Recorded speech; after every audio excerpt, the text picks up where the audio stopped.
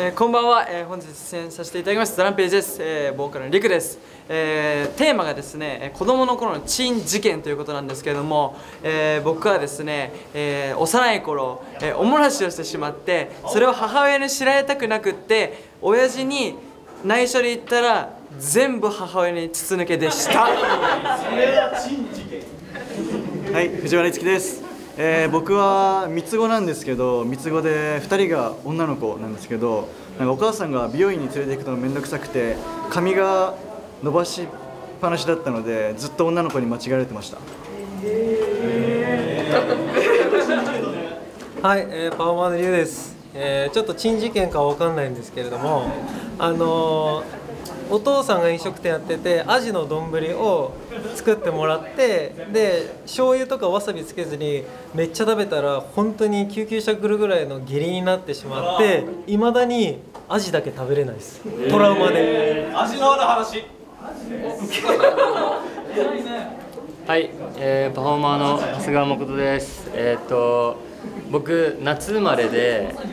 で夏休みすごい好きでよくセミに取りセミを取りに行ってたんですよ。である日夏休みもうセミ取りにバーってこうマンションの階段を駆け下ってたんですよ。でしたら下にセミがいてそれ知らずにバーって駆け上がってたらその短パンの中にセミがブワーって入ってきてもうそっからセミが大嫌いになったっていう。あとセミに糞かけられましたその日。君のせいじゃねえよ。はい、えー、パンマの後藤拓磨です。えっ、ー、と幼稚園の頃戦隊ものが結構好きだったんですけど戦隊あのヒーローたちが爆中とかするじゃないですか。もうそれに憧れて自分もできると思って幼稚園の頃爆中したらまあまあしっかりめに怪我しました。はい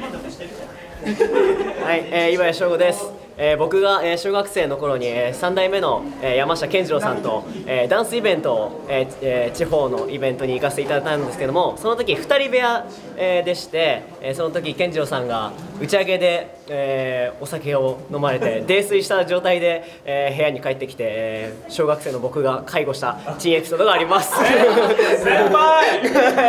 先輩、えー、そんな先輩健次郎さんと同じ大阪港 EXP 出身の陣でございますけれども私あの、えー、ちっちゃい時ですねあの、まあ、2つ目の兄貴がいるんですけれどもあの虫まであ昔流行ったあの虫キングっていうカードゲームゲームでやっててであのおばあちゃんから500円ぐらいもらって2人で並んでたんですけど兄貴の前に僕が並んでて僕がめっちゃレアなギラファノコギリクワガタってやつ当てちゃったんですよ。ほんじゃ後ろにおった兄貴に爆切れされました、はい、今も仲良くやってます。悪くないのに えー、パフォーマーの鈴木武です。えっ、と僕はえっ、と兄弟、えー、上兄2人いるんですけども真ん中の兄と僕でテレビの横にあったそのゴミ箱に向けてあのおしっこをしてしまいましてそのおしっこをなんかそのゴミ箱の中にどっちが遠くから入れれるか選手権をやってたら 隣にあったテレビにかかって壊れて親に怒られました。ナイス以上そりゃ怒られるわ。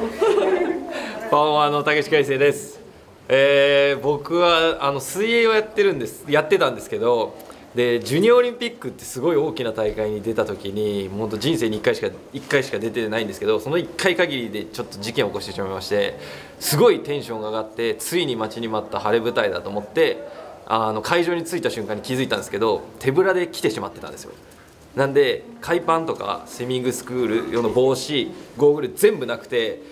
あの招集場所っていうところにもう呼び出されてたんですけど急遽その前に泳いでた友達が海パンを貸してくれて一人だけびしょびしょの濡れた海パンで出ました。ありがとうね。はいありがとう。ありがとう優しい。はい力也です、えー、小さい頃にお祭りに行った時にあの迷子になってしまって気づいたらあの本当幼稚園ぐらいだったんですけども一人になっちゃってあの気づいたらあの2人のお姉ちゃんと一緒にあの お家に帰りました。いい思い出です。ありがとうございました。お姉ちゃんありがとう。はい、えー、吉野福です、えー、なぜかわかんないんですけどわざと、えー、ちっちゃい時におもらししてお母さんを困らせてました。え浦川翔平です。えちっちゃい頃カブトムシが大好きだったんでえじいちゃんが幼虫を持ってきてくれたんですが、えー、まあ角が生えたオスが、えー、生まれてくると思ったらメスでした。珍事件ありがとう。神谷健太です。えっと僕ほぼ手足折ったことあるんですけどどっちも。あのー、もう折りすぎてあの折った時に親に隠してたらうんなぜか知らないけど親に親に隠してかっこいいと思ってたんですけどそれがバレた時にめちゃめちゃ怒られたぐらいです。かわいいはい、浦峰瑠です。あのちっちゃい頃ゲームボーイっていうあのゲームを買ったんですけど赤色の。で友達が貸してっていうことで貸しました。そして帰ってきたらこのゲームボーイってここにスピーカーがあってちっちゃいつぶつぶがあるんですけどそこに何でか知らないですけど緑色の塗り消しが埋め込まれてました。珍事件はい、えー、川村和馬です。えっ、と僕はあの昔祖父とハイキングとか行くことがあったりとかして、まあそその時も自然豊かな場所で遊んでて、でなんか傾斜があるとこであのまあこけかけたんですけど、まあ着地はできたんですけど僕スリッパ履いてたんでそのスリッパその着地するまでに脱げちゃってなんかいっぱい栗みたいなのとかの針みたいなのが無数に刺さっちゃってで帰ってからもう痛すぎて歩いてても痛いからもう病院行ってであの普通になんかピンセットでそのまま抜かれたりとかしてな無数の針を。だからもうあの病院中に叫あの響き渡るぐらい叫んでもう泣いてました。はい。あのもうトラウマです、はい。はい、えー山城です、えー小学校の、えー帰り道で、えー横に友達いる状態で僕こっちで友達と喋りながら帰ってて友達がこの右の子があのドラえもんの本を読んで帰ってたんですけど、えー僕がこっち向いて喋ってそのまま歩いてたら気づいたら川に落ちてました友達が。ごめんなさい、は い僕が落としてました片手バンって。はいということで、えーミュージックステーション見てください。つなぎ絆。バイバイ。